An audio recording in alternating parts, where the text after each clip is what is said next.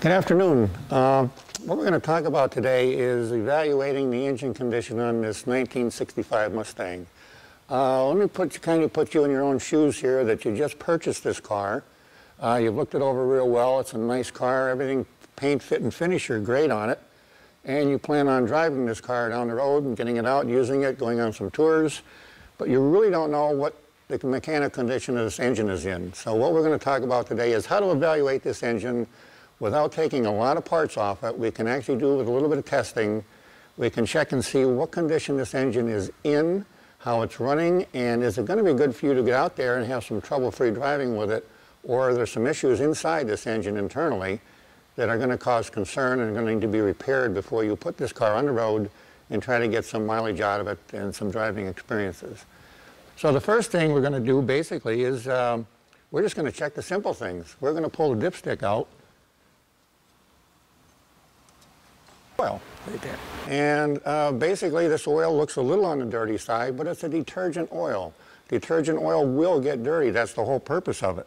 Uh, it's supposed to pick up the contaminants in the engine from combustion and other things, carry them through, and, get, and these particles will get caught in the filter. And that's what keeps the oil as clean as possible with particles and dirt and things like that. Uh, but pulling this dipstick out, you want to take a quick peek at it. And if it's extremely dirty, extremely dirty and extremely running, just take a sniff.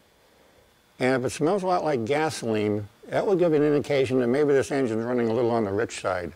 Most carbureted cars with automatic and manual chokes would basically have a little bit of gas smell to them in a car of this vintage, about 1965.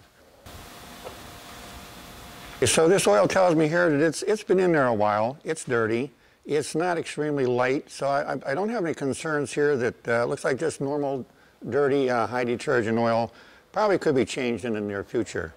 If, for instance, you pull this dipstick out and the oil was way up on top above the fuel level and it smelled like gasoline, that would definitely tell me we've got raw gas going down past the cylinder walls into the oil.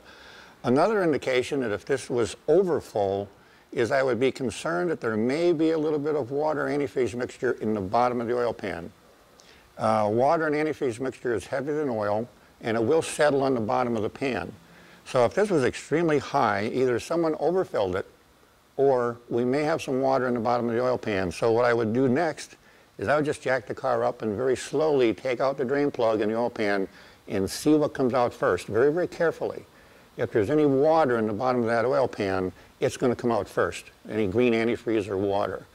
Uh, it would be an indication, that would tell us that we've got a leak, maybe an internal crack in the block, cylinder head, or a uh, head gasket. So again, just by looking at the oil, uh, can tell you a lot about the condition of this engine. And I would say this is okay. No strong gasoline smell, a little bit there, but any carbureted engine going way back, even into the teens and 20s on up until we get into fuel-injected cars, anything with a choke, carbureted, will end up with a little bit of gas in the oil. Uh, normally this isn't a major concern unless it gets really diluted. Then you're taking away the lubrication quality of the oil and you're going to start wearing internal engine parts because the oil can't lubricate the way it's supposed to. So basically, I would have no concern with this. It's uh, maybe after we're all done with the other test on this, I give the oil change, change the filter, and we should be good to go.